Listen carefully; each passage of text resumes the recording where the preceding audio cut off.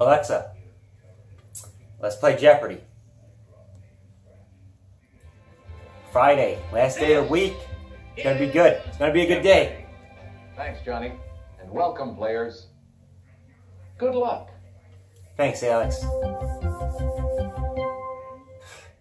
Today's first category is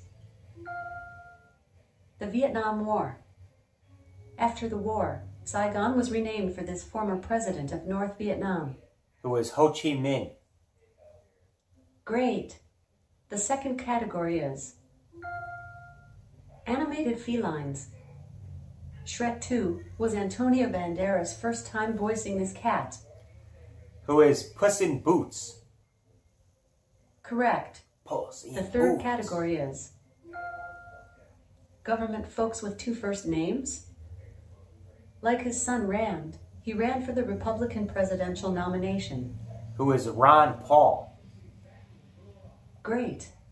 The fourth category is homophonic pairs. The response is two words that are homophones of each other.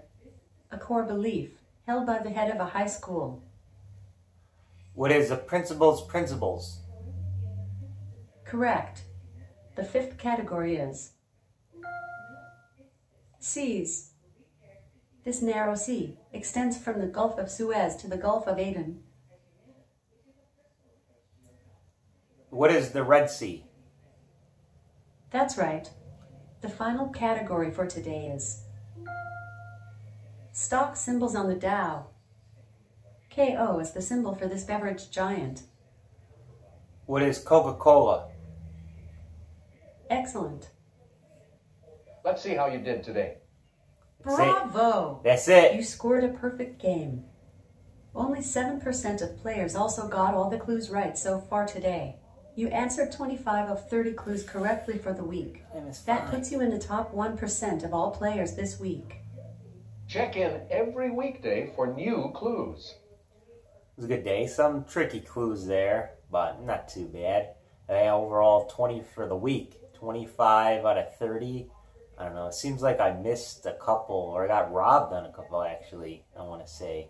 Or I should have known a couple, so I should have been like 27 out of 30, I think. 27 out of 30, 25 out of 30. Not a huge difference, but it's okay. Pretty good day, pretty good week. Can't complain.